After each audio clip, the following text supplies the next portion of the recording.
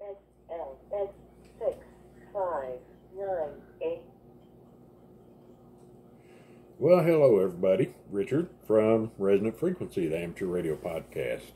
Um, I, I decided here a while back I was going to do some uh, probably hints and tips, that kind of stuff for uh, hotspots and DMR, D star, and that kind of stuff. And uh, we're going to get to some of the little stuff like that. However, this came up the other day, and right now I'm using one of these little Chinese MM DVM hotspots. Got it marked. Uh, but I've got the little MM DVM hotspot. And I, right now we're working with D Uh, so Link to X L X six Stop a minute. nine eight. Okay, so we're using IC 91AD. I've had this radio, uh, crap, since D Star started to become prevalent in the amateur radio community uh, quite a few years ago. And it's been on hiatus, as I, have I, for the last few years. And um, I dug it out when I decided to get a hotspot. I wanted to experiment with a hotspot and see what was going on. So I pulled out this little D Star radio and programmed it up. Now, not only am I able to link with, uh, link to uh, the reflectors or the REF reflectors and uh, some of the local repeaters and stuff. Um, also, to Was hoping. Six five nine eight. hoping to be able to hook up to the DCS and XLX and XRF reflect, reflectors. So, um, the problem we ran into is my old buddy Russ over at Linux and Ham Shack.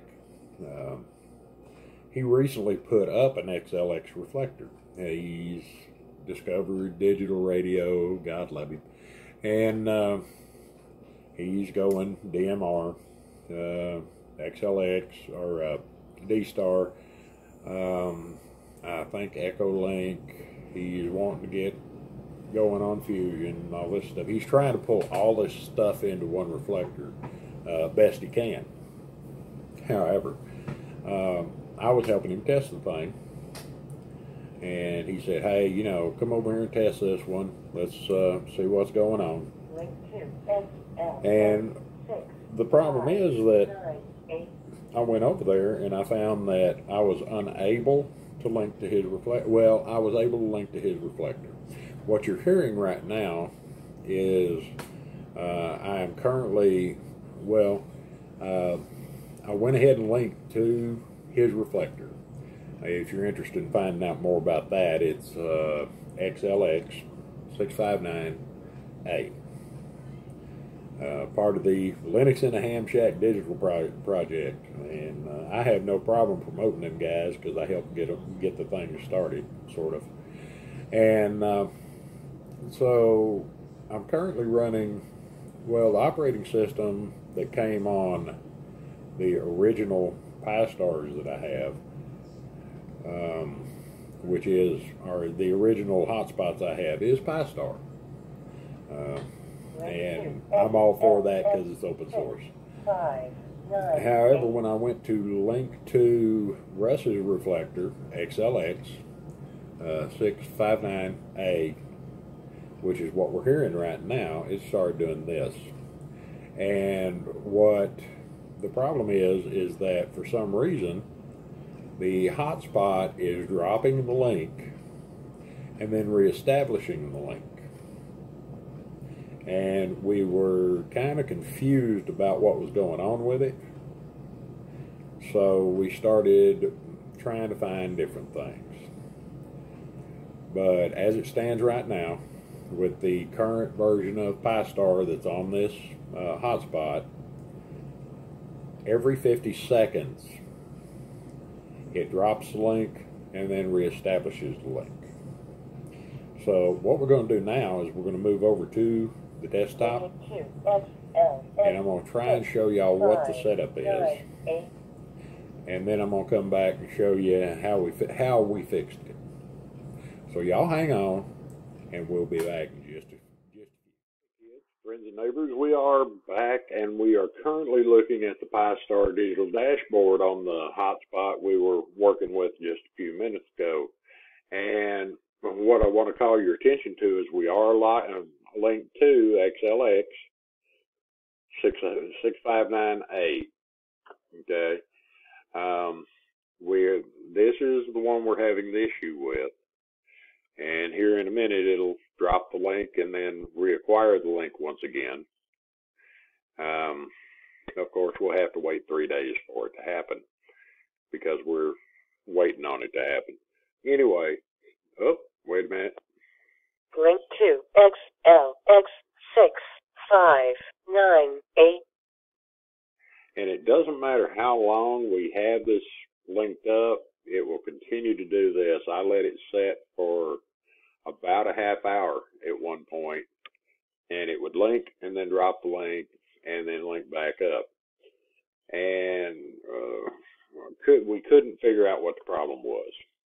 Now, the first thing, uh, well, I had to go around. I had a really hard time digging up information on this particular issue. Um, there were places that where they had information, but it was very sparse and very bits and pieces. So one of the things we need to know is that to work any of the D-star reflectors other than just the REF reflect, reflectors, we have to have the D plus activated on the hotspot. Use D plus for XREF. Now it says XREF, and that's what threw me a little bit because uh, X reflectors are one of the ones that you have to have to have this going. But now it's my understanding that you have to have D for DCS reflectors, X LX reflectors, you know, whatever the reflectors are. If they are not R- REF reflectors, then you have to uh, have to use this particular had this particular switch on. So I went ahead and turned it on. I for some reason it was off uh, by default in this particular uh, version of Pi-Star, but I did not configure that. I did not turn it on when I was doing the configuration. So as we look right up here, we'll see we're currently running Pi-Star version 3.4.17. And the big bugaboo of this thing is that uh, I'm still learning this. I was off there for some time. I'm learning this. Pi, uh, Raspberry Pis were just coming in when I got off there. Uh, the, I guess D-Star had probably been around eight, nine years when I got off there and I come back and I'm currently trying to work with these digital modes because if any of y'all listen to Richard's Radio Adventure, you'll you know that uh, I'm currently living in a place where there are no local repeaters. And when I say no local repeaters, I mean uh, less than 15, 20 miles away. And because of my current because of my current situation as far as being able to put antennas up and stuff, it's been a real challenge to get in into even the closest uh, repeaters to my location. So, uh, so as I said, the current version of the uh, Pi-Star operating system is 3.4.17, and I got to digging around and really couldn't find a whole lot of information about what was going on with this hotspot. So I decided to go to uh, one of the websites that details, kind of details how to upgrade the operating system.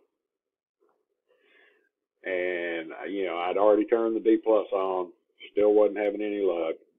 Russ was watching it on the other end listening to it on the other end and he could hear that. Okay, he would hear bits and pieces of me keying up trying to talk, before it would drop out. Then it would drop out and show back up.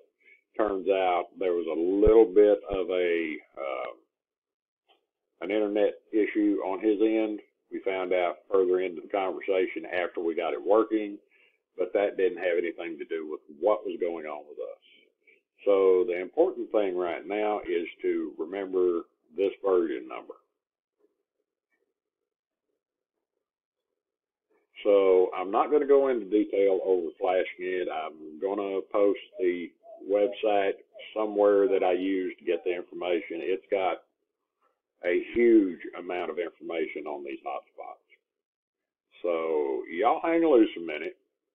Uh, we're going to put in the newly flashed uh, SD card, and then we'll be back. Kids. So now we're back. Uh, what I've done is I already had flashed the card, and I have two of these Pi-Star hotspots. I have one that runs DMR and one that's running uh, D-Star. The D-Star one is the one we experiment on, but uh, I had already replaced the operating system, solved the problem, so I just swapped out the cards this time.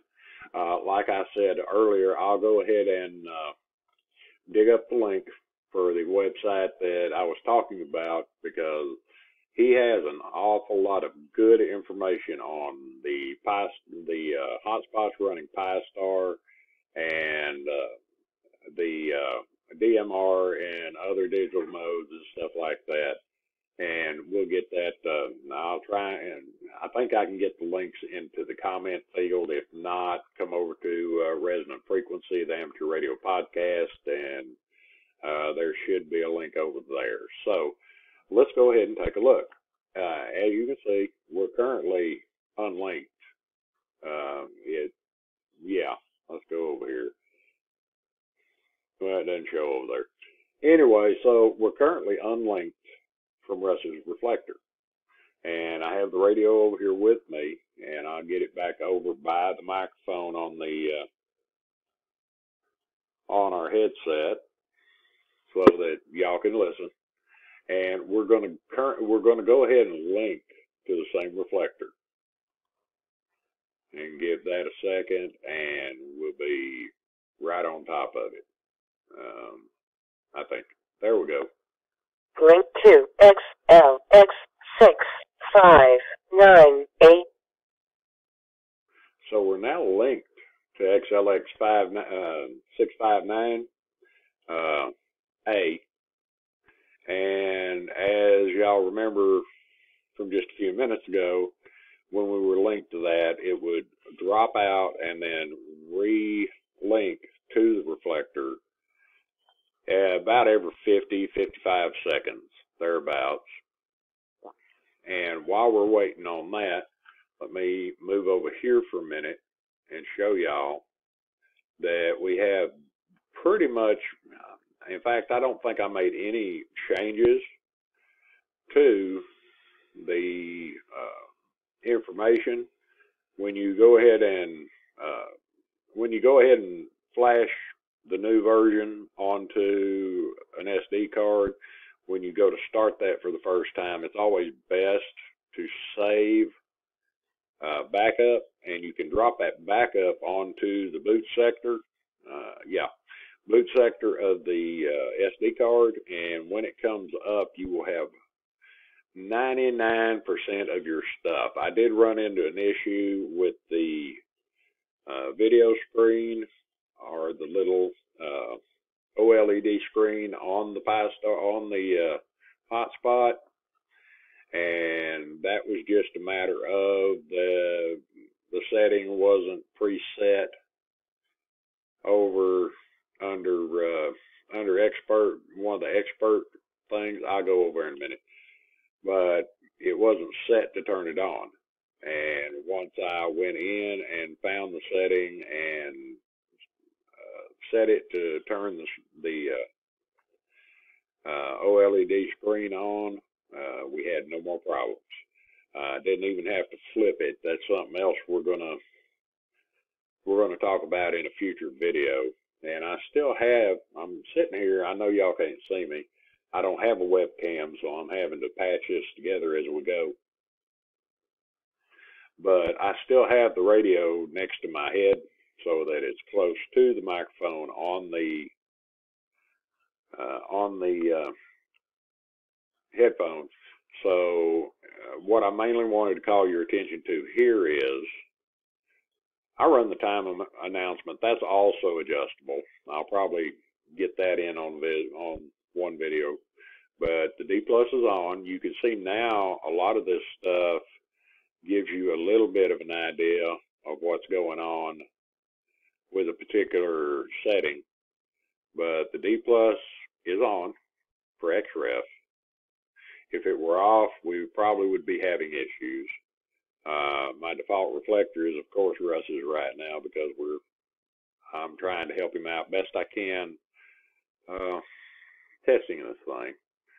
But if we go up here, like I said, you'll see that the uh, we are now running version 4.1.2 of Pi-Star, and we updated the hat uh, week or two back and that kind of stuff.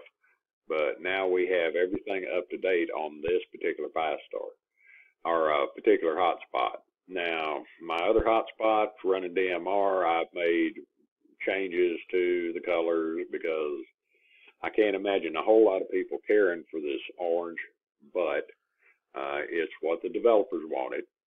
So we're good. And just remember, if all else fails, you can always go back to factory reset. I would suggest getting a second SD card just for the sake of having it and that way as you saw I was able to take the old SD the other SD card and put it in and be back to the other version. So let's see, before we go, well, if we go back to the admin screen, and I've had the radio next to my head the whole time I've been talking, you'll see that we're still linked. And if I do a link status request off of the radio, let me see if I can get to it.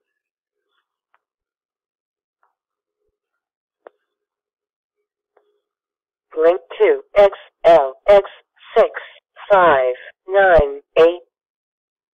So we're still linked to it. And what I'm going to do is go ahead and unlink so that you can see that we're passing commands. The audio is going through even though I don't have someone on the other end. And not linked. And if we wish to go back there one more time, just for the sake of argument, we'll go ahead and link off of the radio.